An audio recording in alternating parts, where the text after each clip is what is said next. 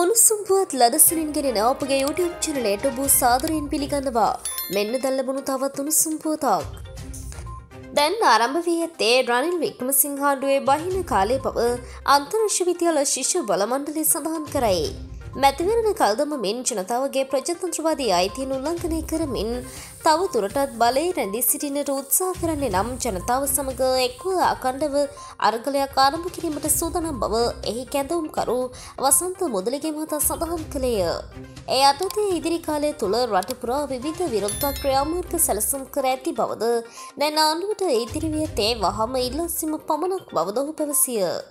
හැට නම ලක්ෂයක ජනවරමින් පත් වූ ගෝටාබේ රාජපක්ෂ එළවතිමු පසු එවෙනුවට ආ දොරටුපාලකයා අදාළම නැති බව කියා සිටියේය.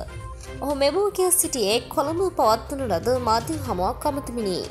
මෙවැනි උණුසුම්පුවත් ලදසනින් දැනකිරීමට අපගේ YouTube චනලය සබස්ක්‍රයිබ් කර බෙල්ලයිකනය ක්‍රියාත්මක කරන්න.